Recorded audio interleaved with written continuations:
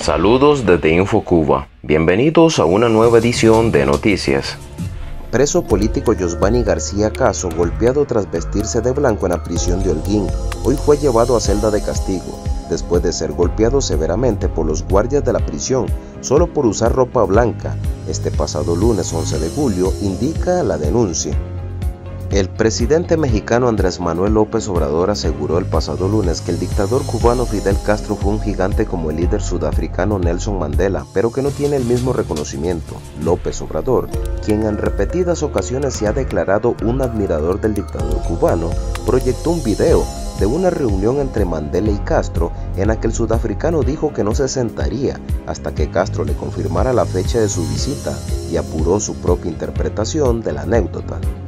Opositor cubano Guillermo Fariñas en huelga de hambre y sed en unidad de la seguridad del Estado. El opositor cubano Guillermo Coco Fariñas lleva más de 48 horas en huelga de hambre y sed en la unidad de la seguridad del Estado en Santa Clara donde se encuentra detenido, confirmaron sus familiares.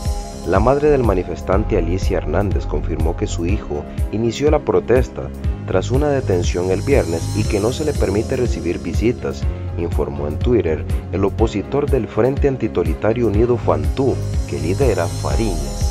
Exiliados cubanos conmemoraron en Miami el primer aniversario del 11 de julio. Los cubanos marcharon este pasado lunes para mostrar su apoyo a sus hermanos y a los presos políticos por manifestarse, además de exigir al gobierno de Estados Unidos que apoye el cambio en Cuba y de cuestionar a Canadá y la Unión Europea por financiar la represión del régimen contra la oposición. Papa Francisco confiesa que mantiene una relación humana con Raúl Castro. Yo quiero mucho al pueblo cubano. Tuve buenas relaciones humanas con gente cubana y también confieso, con Raúl Castro tengo una relación humana.